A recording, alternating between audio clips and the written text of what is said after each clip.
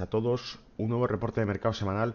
Vamos a dar eh, actualidad sobre qué es lo que ha ocurrido en las últimas dos semanas y sobre todo qué pasa a partir de ahora con este nuevo evento. Hemos pasado ese gran bache para el mercado que era las elecciones de Francia.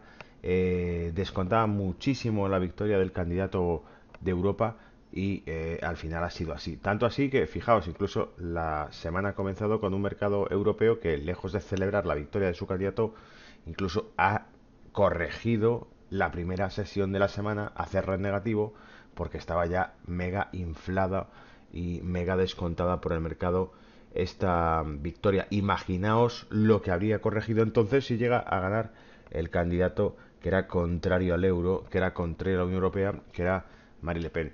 Bueno, pues em, con esta portada iniciamos ya el vídeo reporte de la semana.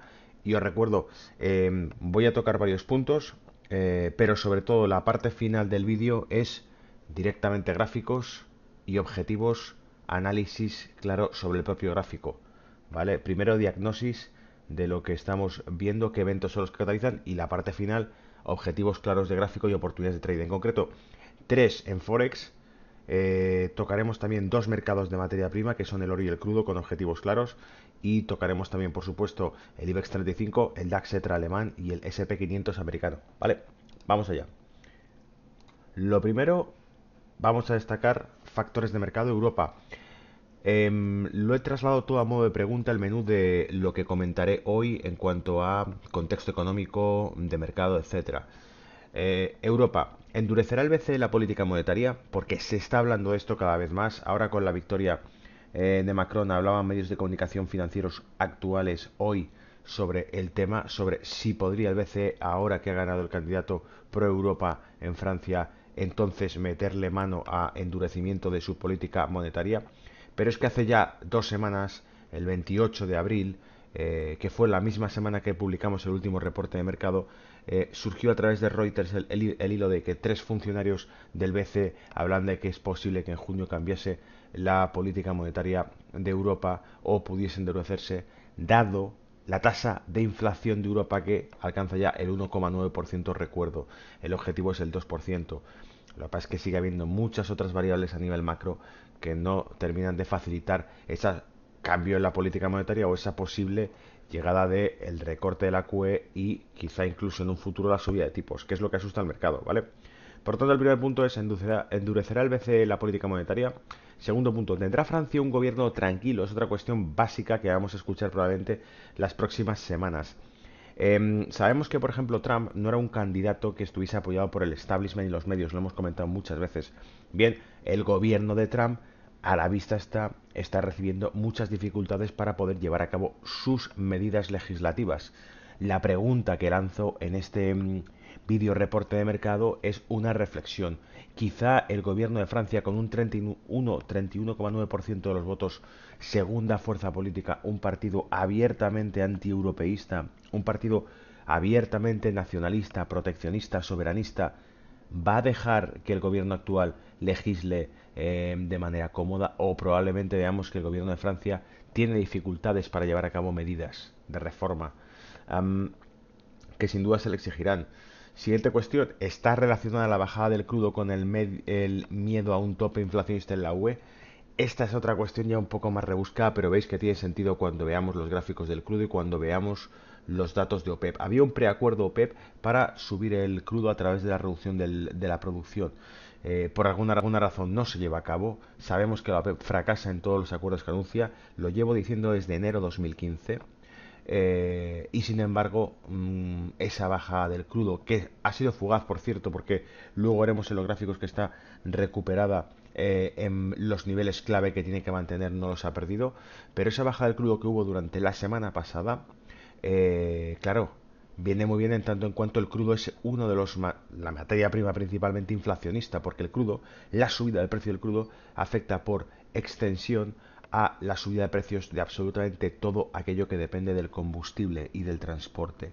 Es decir, los bienes se ven afectados por una subida del crudo, porque los costes de eh, transportar los bienes a los puntos de venta desde las fábricas eh, se, pagan a través del combustible que, implica el transporte. Ese coste eh, añadido y que depende del crudo. Se dice que el crudo es inflacionista y por eso la bajada del crudo aleja esa inflación 1.9 de Europa que peligrosamente obliga a que Alemania presione al BCE para que eh, se termine la QE en Europa. Y eso sin duda es un factor que también dará miedo al mercado, como del mismo modo que cuando Estados Unidos trataba de, desmantelar su QE, su inyección monetaria, eh, veíamos que el, el IMF, el FMI, una y otra vez aconsejó que no lo hiciesen. Las autoridades monetarias, perdón, las autoridades económicas financieras globales probablemente eh, recomendarán al BCE, llegado el momento, que no desmantele la QE de momento. Bien, salto al otro lado del charco, salto a Estados Unidos. ¿Podrá la economía de Estados Unidos resolver la ecuación de déficit y deuda americanas?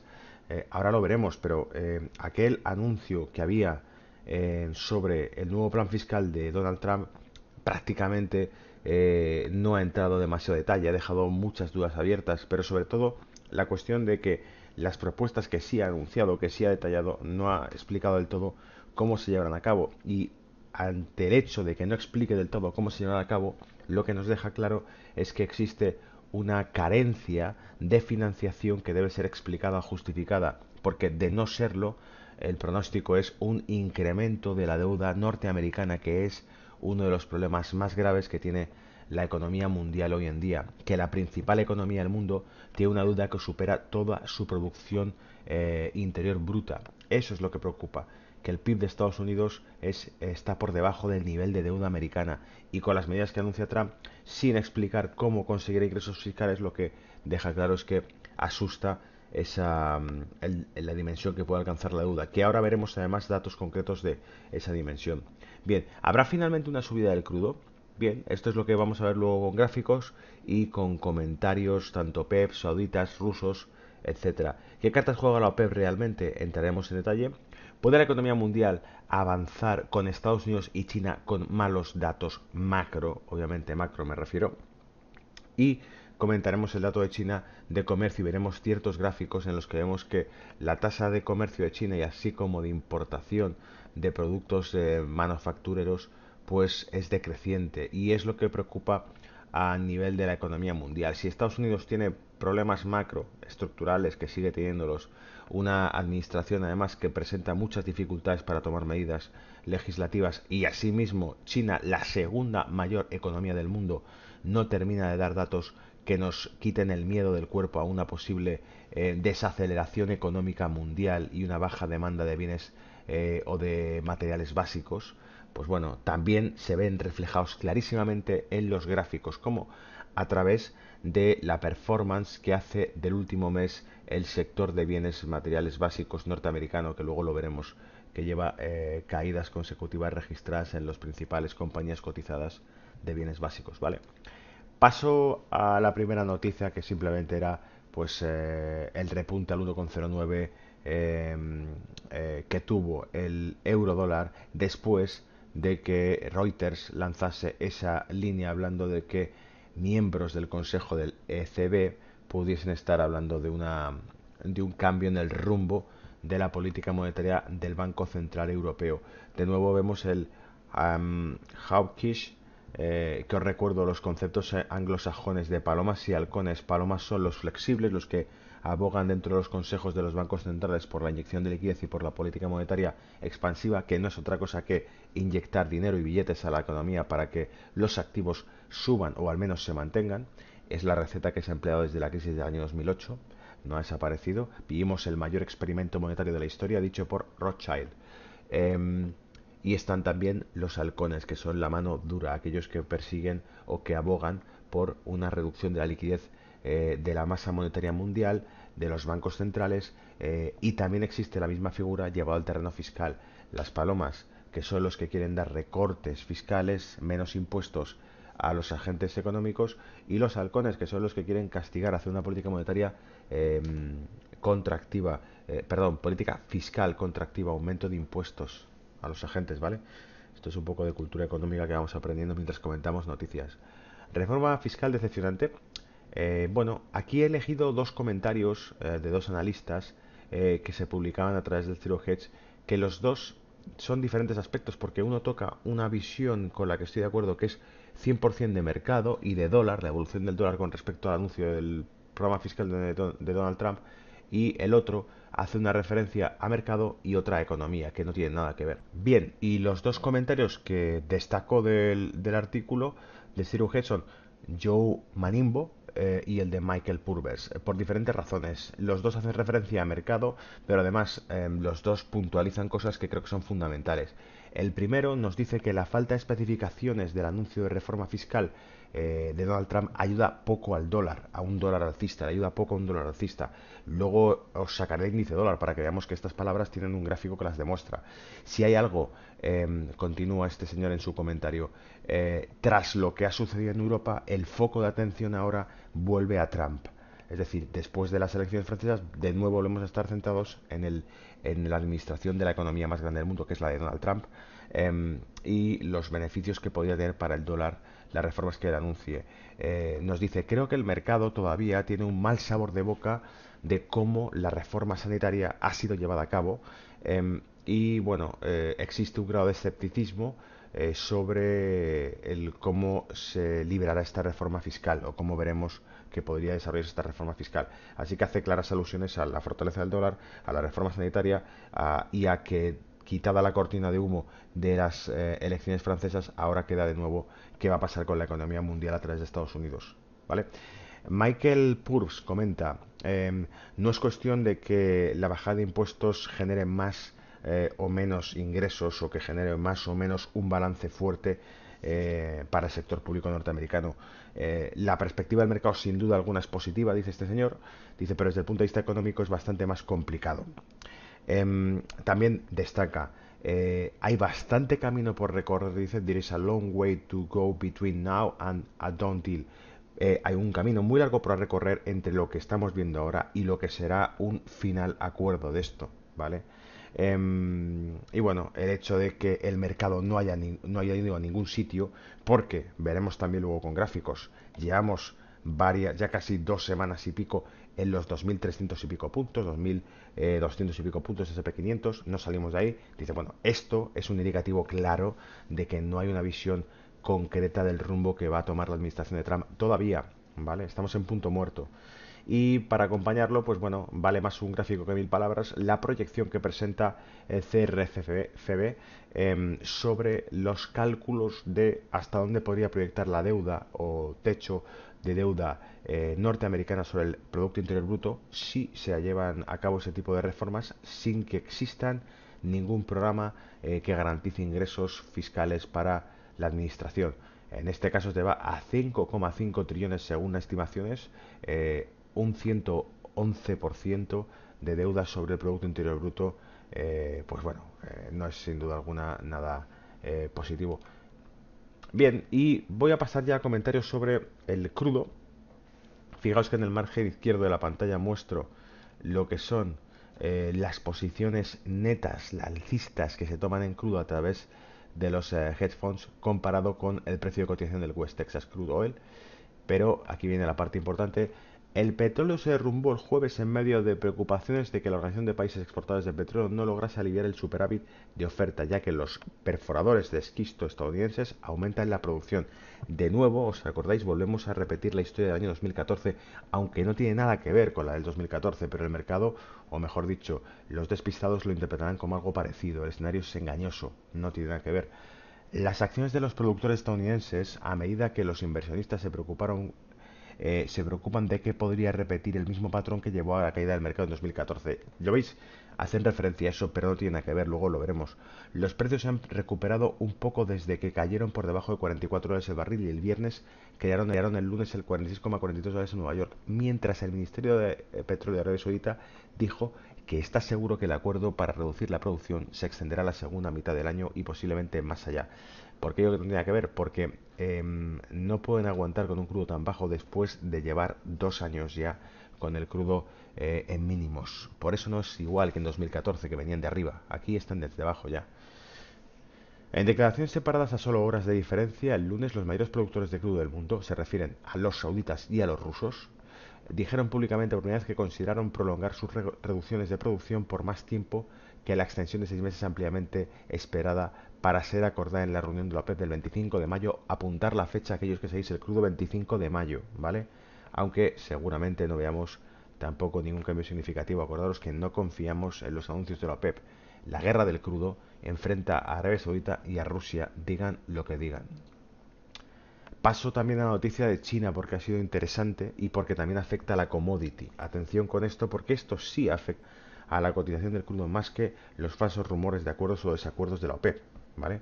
Pekín, el crecimiento de las importaciones de China se desaceleró más rápido de lo esperado en abril, debido a que los envíos de productos básicos como el mineral de hierro y el cobre se debilitaron, mientras que el crecimiento, mientras que el crecimiento de las exportaciones se redujo a la mitad, en línea con un enfriamiento general de la demanda de aparatos eléctricos. Las importaciones chinas de abril subieron un 11,9%, frenando desde 2000 desde el 20,3% de marzo, según mostraron los datos oficiales el lunes y las expectativas de los analistas de un aumento del 18%. Las importaciones de crudo, mineral de hierro y cobre en China cayeron por volumen en comparación con marzo y los datos están en línea con una encuesta reciente de gerentes de compras en el sector manufacturero, mostrando que la expansión de abril fue la más lenta de, en seis meses. Es decir, se reduce el consumo de bienes básicos que son empleados en la producción y eso da miedo, como ya pasó en el año 2012, eh, sobre un ralentizamiento de la economía. ¿Vale? El superávit de China con Estados Unidos se amplió en abril. Esto es lo que le preocupa a Donald Trump, por cierto, lo que significa que la presión de Estados Unidos para la acción sobre el desequilibrio comercial no es probable que desaparezca en el corto plazo. Es decir, va a seguir molestando a Estados Unidos este problema. Si ya lo considera un problema, no ha mejorado, sino que ha empeorado. El superávit con Estados Unidos fue de 21.340 millones de dólares en abril, frente a los 17.740 millones de dólares registrados en marzo y más el mismo periodo del año pasado, según datos de la Oficina de Aduanas de China. Las exportaciones a los Estados Unidos, el mayor mercado de exportación de China, no lo olvidéis, los americanos son los que más productos sino compran a China, aumentaron un 11,7% en abril respecto al año anterior, mientras que las importaciones procedentes de Estados Unidos aumentaron un 1,5% tienen perdida la guerra contra los chinos. Si los chinos venden 11,7% en exportaciones a Estados Unidos e importan tan solo 1,5% más, pues obviamente no puedes competir con la fábrica del mundo. ¿Vale? Os pongo gráfico de Trading Economics sobre el, el, Trade Balance de China para que veáis que pese a todo, pues os digo, en 2014 es el año en el que recupera algo de pulso, pero desde entonces, desde entonces, el balance comercial de China sigue siendo más débil que el que experimentó entre 2014 y 2016, es decir, el año 2015. ¿Vale? Bien, dicho eso, ¿dónde se ve también los resultados? Pues en la performance a un mes, es decir, la evolución del último mes del sector de bienes básicos de Estados Unidos, de SP500, la mayor bolsa del mundo. Vemos que aquellas compañías relacionadas con el gas y con el crudo, pues han tenido caídas de rondando el 10% en su mayoría y algunas superando el 10% e incluso el 15%, ¿vale? Y eso es muy significativo porque vemos que el sectorial de materiales básicos se vuelve negativo. Bien, calendario económico antes de que pasemos a gráficos, ¿vale? Repasamos. Miércoles, palabras de Draghi, cuidado porque tenemos muy, muy delicado el euro dólar, ahora veremos que estamos en niveles clave.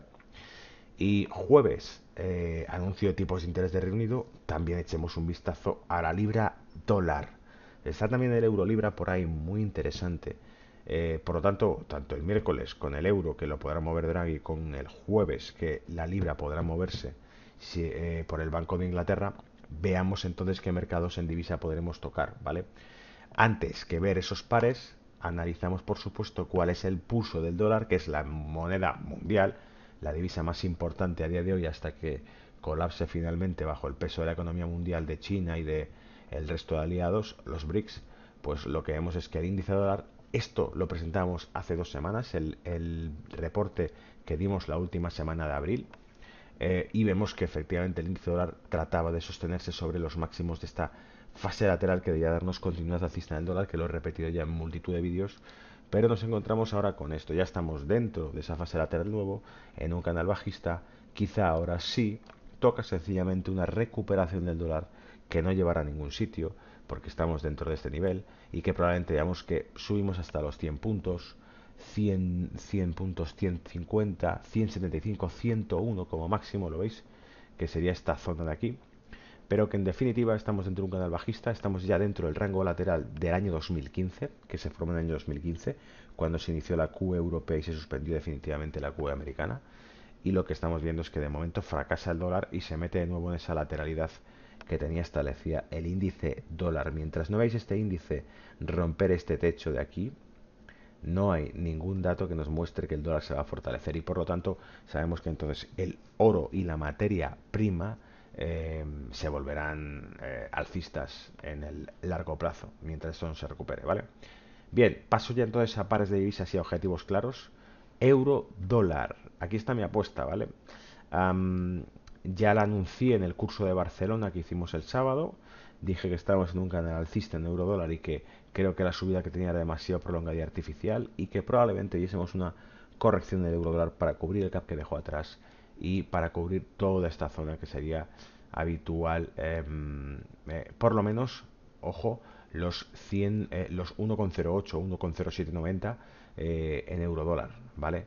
Me puedo estar equivocando, por supuesto, no tengo la bola de cristal, podría seguir alcista también, pero creo que ah, se ha pasado ya el efecto euforia de Macron, eh, ha salido primer día de cotización del euro tras las elecciones francesas definitivas, nuevo presidente en Francia y vemos que el euro empieza a enfriarse porque estaba sobrecomprado. Entonces, mi objetivo sería que cubriésemos toda esta zona aquí, o al menos este primer rango, 1,0790, 1,08, y luego incluso objetivos más bajos, ¿por qué no? Eso sí, 1,0650, etcétera, etcétera, ¿vale?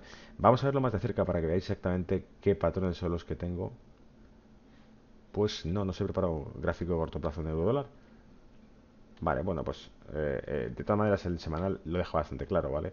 Podríamos esperar la pérdida de la media de 50, 55 exponencial que tenemos aquí, pero mi objetivo es claro, esto se pierda, entremos de nuevo dentro de este rango y vayamos a ese objetivo. Eh, eso significaría, por cierto, un, em, un dólar que se fortalecería frente al euro. Encajaría perfectamente con el gráfico anterior, lo recuerdo, que sería que el índice, eh, el índice dólar repuntase de nuevo hacia los 100, 100,50 puntos, ¿vale? Ahí sí entraría en contexto. Paso a libra dólar y fijaros, libra dólar lo que veo es se está tocando con la media de 55 exponencial, tratando de girarse. Tengo además una zona de techo aquí clara porque es un antiguo soporte, ¿lo veis?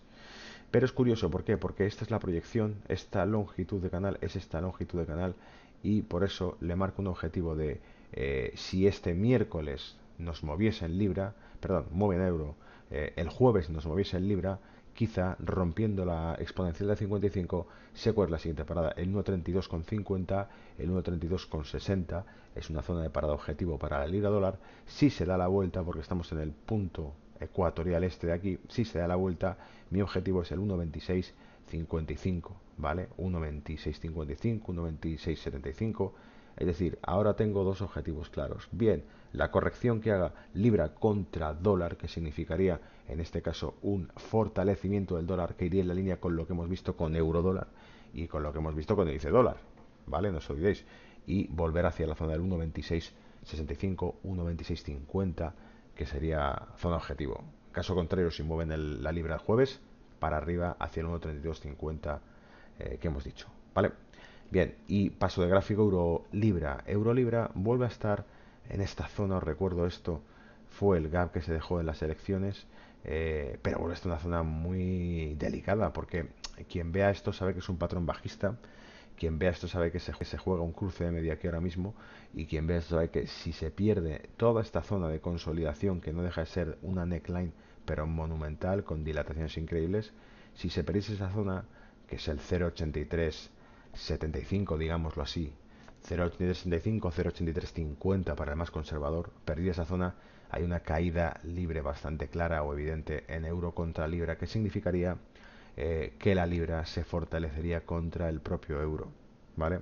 Así que insisto una vez más, atentos a lo que veamos el próximo, el próximo jueves. Pasamos ya a renta variable y vamos a comentar directamente el mercado alemán. Fijaros la ruptura que tuvo antes del anuncio de, de la victoria de Macron, es decir, previo a las elecciones de Francia, cerramos la semana pasada con una ruptura muy muy fuerte de eh, los máximos que tenía el DAX en esta zona que veníamos de hace dos semanas comentando que llegábamos a esa zona, que era difícil que se rompiese la primera. Eh, de hecho, acertamos con ese pronóstico porque fue llegar a esa zona y empezó a darse la vuelta durante varias sesiones en negativo, pero la superó con bastante fuerza. Dije, dije el jueves pasado en Capital Radio con Laura Blanco, Dije, es difícil comprar ahora porque ya se inició esa subida. Dije el jueves pasado con Laura Blanco, en todo caso esperemos que venga alguna sesión correctiva los próximos días para que cuando volvamos hacia la zona de 12.450 puntos o 12.500 puntos, que sería un pullback, aprovechemos para eh, comprar en zonas consolidadas eh, tomar la subida pues eh, con, con, sentido, no ahora que ha empezado la fiesta, ¿vale? Y que nos exponemos a que si compramos con una subida ya producida, caiga. Lo dije el sábado también durante el seminario de Barcelona y fijaos como la primera sesión que hemos empezado la semana, corrigiendo pullback para atrás, ¿vale? Em, teníamos de cerca, visto de cerca este DAX, ¿lo veis? Bueno, yo no creo que sea tan difícil o tan complicado que volvamos hacia los 12.450 puntos. Eh, e incluso, incluso vengamos a cubrir gap en esta sección y busquemos 12.150 puntos, 12.200 puntos, apoyaríamos el año tendencial y continuaríamos la subida, habiendo cubierto el gap. Así que cuidado con esta zona de aquí, entre los 12.300 y los 12.150, entre los 12.300 y 12.150, porque creo que el pullback vendrá a 12.450, pero ¿por qué no aún más y mejor en 12.150 o 12.300? comprar, ¿vale? Es, me parece muy atractivo. Pasa al mercado español, IBEX 35. Hace dos semanas comentamos, bueno, si eh, los alemanes siguen fortaleciendo y subiendo y rompen máximos, podría plantearme esta zona de aquí que teníamos marcada hace semanas, que son los 11.200 puntos, ¿vale? Bueno, pues hemos llegado ahí, los tocamos y nos hemos dado la vuelta. Así que, como veis, eh, si esa fase correctiva que vemos en Alemania efectivamente se lleva a cabo, lo normal es que España también tenga esa fase correctiva. España también se dirija, en este caso, una corrección de 500 puntos hacia la zona de los 10.500 puntos, que sería su zona de consolidación a un nivel nuevo de, compras, 10.500 puntos, ¿vale? Eh, Poca cosa más que comentar. También vemos desde cerca el IBEX 35 y vemos que efectivamente tocamos esta zona que decíamos, se dio la vuelta y que también tiene aquí gap dejado desde entonces que si quieres recuperarlo pues efectivamente está en 10.500 10.480 me da igual vale pero podéis tolerar 20 30 puntos fluctuantes en, en esa zona de compra vale entonces creo que queda también muy clarito el mercado europeo, la perspectiva que estamos viendo para Alemania y para España. Son pronósticos muy similares que además encajan perfectamente con el contexto de lo que estamos viendo, ¿vale? Y paso, por supuesto, ya a comentar el mercado americano, que lo tenemos aquí. He elegido, fijaos, eh, un FIBO, simplemente porque es un canal bajista, roto al alza, pese a que también desde el punto de vista chartista muestra una figura que es un mínimo, otro que lo supera, otro intento de aquí, se consolida y rompe al alza. Por lo tanto, ¿qué creo que tenemos? Bueno, tenemos una figura que hace un movimiento al 100%, no termina de corregirlo y dilata hasta un 132,8% de FIBO. Este impulso, primer impulso alcista, lo dilata hasta aquí, ¿vale? Eh, cuando veamos que esto se rompe, esta línea tendencial se rompe, inicia una corrección. Entonces sí, eh, colocaremos un FIBO hasta ese máximo, último máximo que hayamos confirmado y esperaremos su retroceso. De entrada, el retroceso que tengo yo aquí marcado, si este fuese el último máximo, es decir, si efectivamente se rompe la tendencia alcista del SP, serían 2.355 puntos, ¿vale? Un retroceso del 50% cubriendo el gap dejado alcista por todos los mercados. Si ellos, los americanos, también cubriesen el gap alcista, vamos a un retroceso del 50 a 2.350 puntos. Pero atención, porque esto tan solo es una proyección que estamos viendo en velas diarias.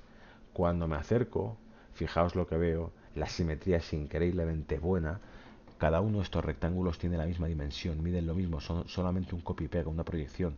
Fijaos cómo crea rangos el precio, cómo canaliza de una manera clarísima este rango, este rango, lo rompe al alza, llega a esta zona y retrocede. Por lo tanto, vemos mucha lateral en el mercado y tendríamos que esperar a que esto se rompiese para volver a estas zonas objetivo que decíamos en el gráfico anterior del SP. ¿Vale?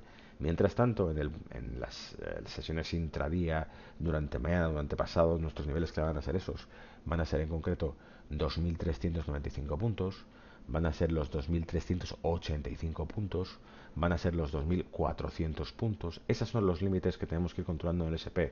Que perdemos 2.395, bueno, pues para abajo a ver si llegamos a 2.385, etcétera, ¿vale? Y finalizamos con materia prima. Eh, lo primero el oro, semana hace dos semanas. El gráfico oro que mostramos era este, media 200 exponencial, media 55 exponencial. Y esto es lo que ha quedado. Una corrección clarísima del crudo, perdón, del oro, eh, motivada por el optimismo de que Europa siga su curso sin experimentos nuevos con eh, Le Pen. Fijaos que rompe la de 200, rompe la de 55. Eh, vamos a ver si a partir de aquí consolida o va al siguiente objetivo, 1.200 dólares la onza. 1.200 dólares la onza eh, en el cortísimo plazo, si es que las cosas se siguen mejorando. ¿Con qué pegaría esto? De nuevo, interrelación de mercados. Os recuerdo a los que seáis más novatos. El oro solamente baja cuando mm, hay bonanza económica en los mercados, pero además cuando el dólar se fortalece, ¿vale? Hay otro objetivo claro, que serían 1.135 dólares la onza, que es este mínimo de aquí que dejamos atrás, pero sobre todo los 1.085, 1.075 dólares la onza, que aquí quizá parecen muy lejanos, no tienen mucho sentido, pero cuando vemos con más perspectiva, vemos que es apoyos, apoyos, apoyos, bajando, seguimos por debajo de la media de 200, por debajo de la de 55 rectifican, se vuelven las dos con pendiente bajista y buscamos este objetivo, que es el último mínimo que teníamos aquí y que coincidiera con la línea tendencial esta a buscar ese 1075 dólares la onza, ¿vale?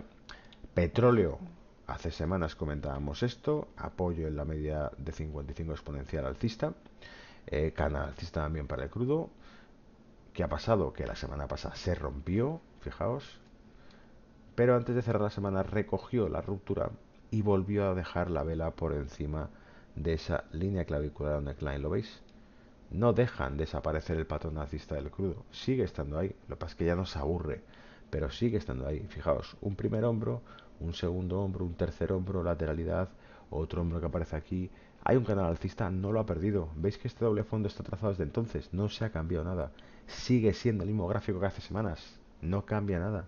Es más, toca esta zona aquí azul, la banda azul, que es que la zona limítrofe que teníamos soporte, soporte, soporte, soporte, soporte, soporte, toca la mecha y se vuelve arriba y cierra por encima de, ese rango que tenemos limítrofe de esa neckline. Así que sigue siendo una zona de compra, en mi opinión, desde el punto de vista técnico, sigue siendo una zona de compra muy buena. Hay aguante por ahí eh, y no nos fiemos de declaraciones de la OPEP o no OPEP, etcétera, etcétera, porque sabemos que en la mayor parte de los casos es chatarra, humo, sonido, ruido que nos interfiere. Ya sabéis, el gráfico lo descuenta todo, amigos. Bueno, eso es todo y espero que os os dé bien esta semana con los mercados. Un saludo, chao.